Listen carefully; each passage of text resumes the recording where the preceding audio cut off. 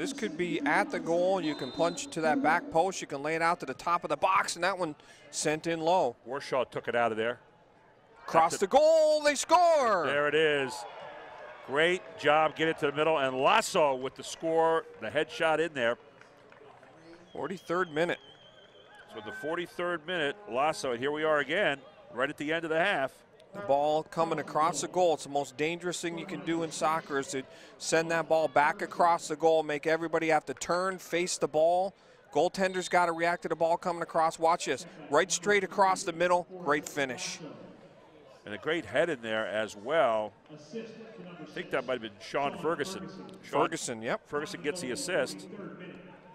So the second goal comes up here again in the last five minutes.